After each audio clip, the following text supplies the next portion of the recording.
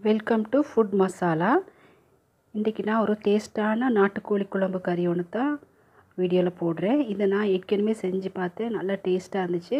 அதனால் நீங்களும் இந்த கட்டாயமாக இதை வீடியோவை பார்த்து செஞ்சு செஞ்சு பாருங்கள் இந்த வீடியோவை ஸ்கிப் பண்ணாமல் முழுசாக பாருங்கள் இது ஒரு ஷார்ட் வீடியோ ஒன்று தான். மற்றது என் சேனலை சப்ஸ்கிரைப் பண்ணாதவங்க கட்டாயமாக சப்ஸ்கிரைப் பண்ணிக்கொள்ளுங்கள் இதுக்கு நான் வந்து க்ளீன் பண்ணியிருக்கேன். சிக்கன் வந்து முந்நூற்றி ஐம்பது கிராம் எடுத்திருக்கேன். இது மஞ்சள் போட்டு கழுவுன சிக்கன் தான். இப்போ நான் அந்த ப்ரெஷர் குக்கரில் வேக வைக்கிறதுக்கு மஞ்சள் அரை டீஸ்பூன் உப்பு ஒரு டீஸ்பூன்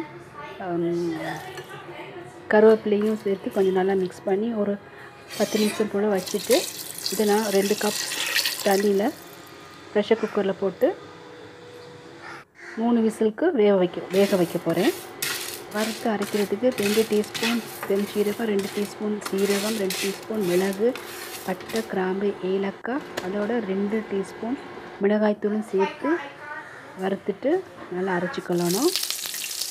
பிறகு நான் ஒரு மண் சட்டியை வச்சு அதில் அரிஞ்ச வெங்காயம் கருவேப்பிலை போட்டு வதக்கிக்கொள்ளணும். பச்சை மிளகாய் சேர்த்துக்கொள்ளணும். வெங்காயம் வதக்க தேவையான உப்பு சேர்த்துக்கொள்ளணும்.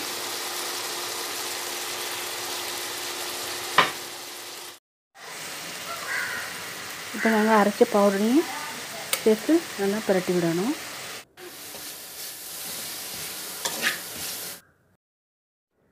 இப்போ நாங்கள் குக்கரில் அவிச்ச இது சிக்கனை மட்டும் சேர்த்துக்கிடுவோம் இந்த சிக்கனை வந்து நல்லா மசாலாவில் புரட்டி விடணும்.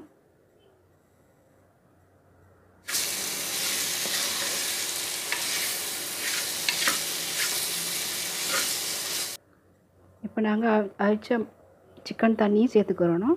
சேர்த்து நல்லா கொதிக்க விட்டுட்டு அதுக்கு உப்பையும் செக் பண்ணிக்கொள்ளுங்க. இது நார்மல் சிக்கன்லேயும் செஞ்சால் நல்லா டேஸ்ட்டாக இருக்கும்.